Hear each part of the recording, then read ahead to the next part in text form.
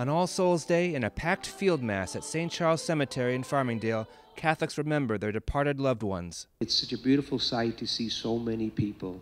It's a strengthening part of our life to know that we grieve, but we don't grieve alone.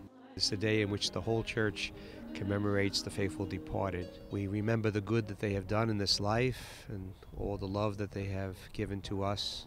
Though this Catholic cemetery is out on Long Island, it's managed by the Diocese of Brooklyn. Many with loved ones buried here are impressed at how clean and well kept the grounds are.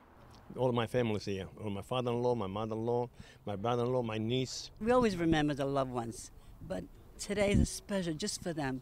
So we dedicate ourselves just to um, to be closer to them. Following the Mass, the long awaited Christ the King mausoleum was open for the Catholic community. It's been two years of uh, you know hard work. A lot of Catholics have been waiting for this new building, and uh, they've been calling, and they're anxious for it to open. And uh, we're very happy today that uh, you know we have the dedication set for today. By the power of your blessing, it blends a lot of uh, uh, the uh, styles that we find that families like. It's warm earth tones. All the art uh, is uh, chosen to depict different times in the life of Christ. We know as Catholics, Christ is the King.